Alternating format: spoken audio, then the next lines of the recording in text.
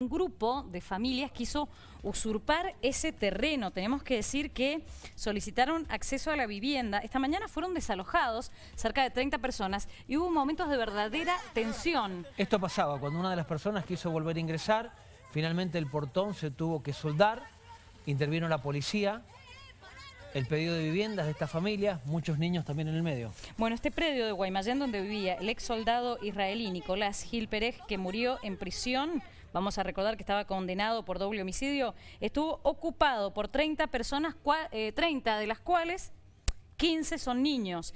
Y ayer la policía decidió cortar la energía eléctrica en ese lugar y lo desocuparon esta mañana deteniendo a tres mujeres que estaban muy reticentes a salir y que volvieron a ingresar al predio. Escuchamos la nota. Ha habido un intento de usurpación del día domingo a la noche y bueno, se le ha dado intervención a la justicia penal. Está la denuncia realizada por parte del hermano de Gil Pérez, que ha hecho la denuncia vía internet y se está actuando conforme la directiva que ha dado el Poder Judicial al respecto del hecho. Los niños intervino el ETI y fueron entregados a unos familiares. Los adultos se fueron retirando por voluntad propia, ya que el municipio le iba a dar un, principio de solución a las demandas que pedían y quedaron solamente cinco personas que, bueno, esta mañana salieron por propia voluntad.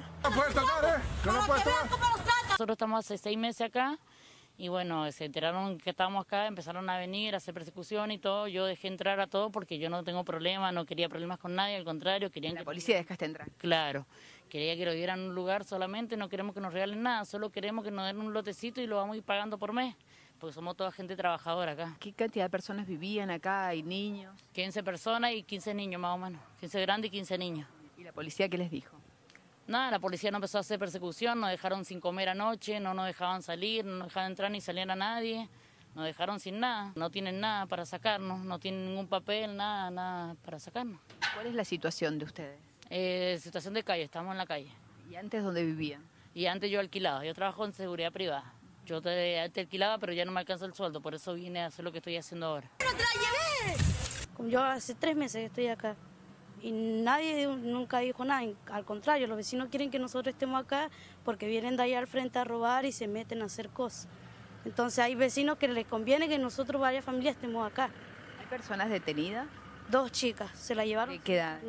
mayores. Está todo, está todo, nada más que como vinieron la policía, cortaron la luz y nos quedamos sin luz. ¿Y en el caso tuyo qué pide? Y que mm, si posibilidad, ayuda para todos para ver si acá pagar el lote y como corresponde, si hay que pagar luz y agua, lo pagamos. Porque no somos gente a hacerle mal a nadie, trabajamos todos. ¿Cuántos detenidos? Eh, ahora detenidos hay tres. Hay tres detenidos que se metieron en el transcurso de la mañana, que quisieron entrar y la última, bueno, fue la, señora que se acaba de prender ahora. Vienen con, con el, el, tema de que no tienen dónde vivir, pero se ha contactado de que sí tienen dónde vivir y dónde viven. Esta mujer tenía antecedentes además, ¿no? Aparentemente sí, ya tiene antecedentes. ¿Qué van a hacer acá en el terreno ahora? ¿Cómo lo van a cerrar? Eh, con el municipio se va a proceder a soldar los portones y a tomar todas las medidas de seguridad para que no se proceda, no se haga ninguna otra usurpación. Con el municipio se va a proceder a soldar los portones y a tomar todas las medidas de seguridad para que no se proceda, no se haga ninguna otra usurpación.